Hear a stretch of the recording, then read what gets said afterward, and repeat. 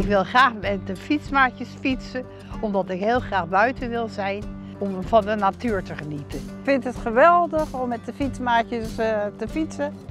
En uh, heel gezellig en lekker buiten. Ik vind het heerlijk om met de mensen uit de Leiderode te gaan fietsen. Want die mensen hebben het echt nodig. En voor, voor mijzelf is het ook goed. En het geeft mij een hele goede voldoening.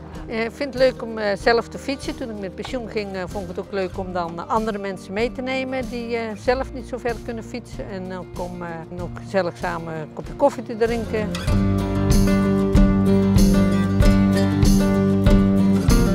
De samenwerking met fietsmaatjes is voor ons belangrijk omdat het een extra één op één moment creëert met de bewoner. Ze kunnen lekker naar buiten, ze kunnen hun verhaal kwijt. Voor de fysiotherapie is het belangrijk dat ze lekker kunnen bewegen.